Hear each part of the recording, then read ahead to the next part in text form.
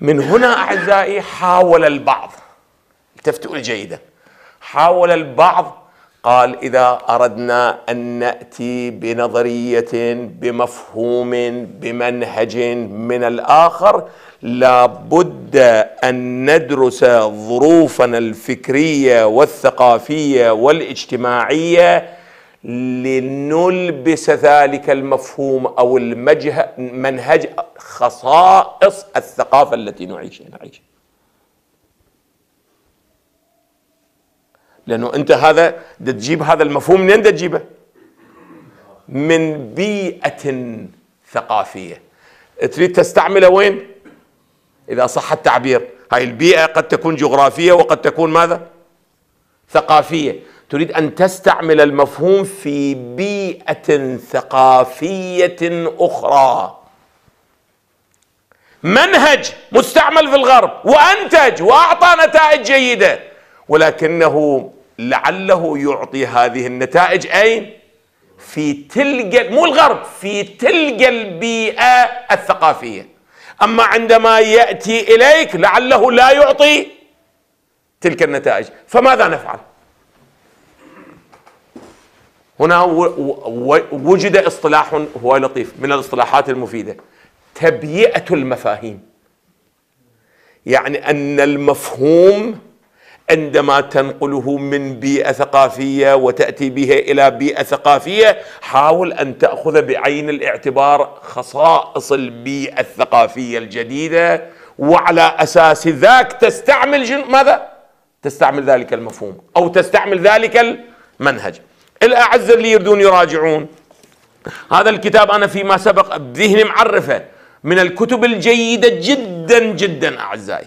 التراث والمنهج بين أرجون والجابري.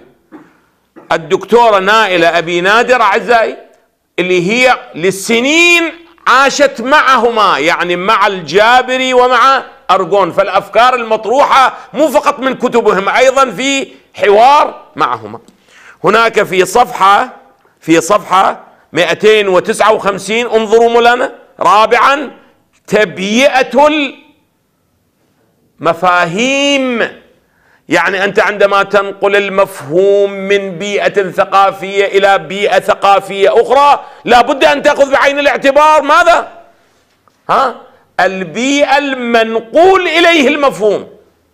ولهذا في التعريفات تعريفات هاي المفاهيم في صفحة التفتوا جيدا في الصفحه 562 تبيئة المفاهيم. ما هي؟ ما هي هذه هذه النظرية؟ عملية مهمة يشدد عليها الجابري في كل مرة يضطر المفكر إلى أن يستعين بأدوات منهجية وبمفاهيم غريبة عن حقل عمله ليستخدمها في أبحاثه.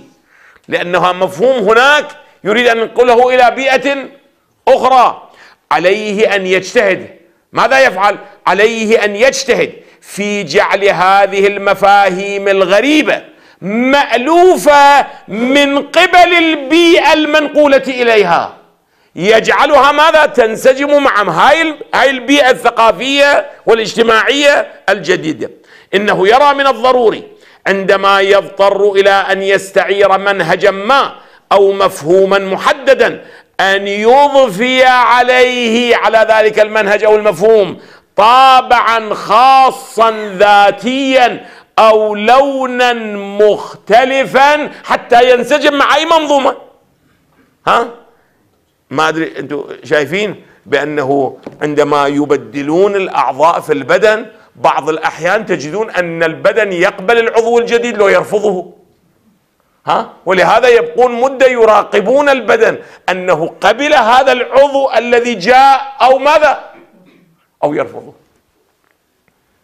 لأنه في النتيجة هذا هذا العضو كان في بدن في بيئة أخرى. الآن تريد أن تأتي به ماذا؟ إلى بيئة أخرى. فيقبله أو لا يرفضه. ينبغي علينا التفتوا جيدا والا يحصل تشويه ما بعده تشويه وهذا اللي يحصل الآن في فكرنا الإسلامي عزة. أن البعض من غير أن يلتفت هيأتي بمناهج من أين؟ أنا لست أن تجدون تعرفوني جيدا أنا أؤكد على قراءة العلوم الإنسانية الغربية أو لا؟ نعم لابد أن نقرأها لابد أن نطلع عليها كاملة. ولكنه عندما نريد أن نستفيد منها أين؟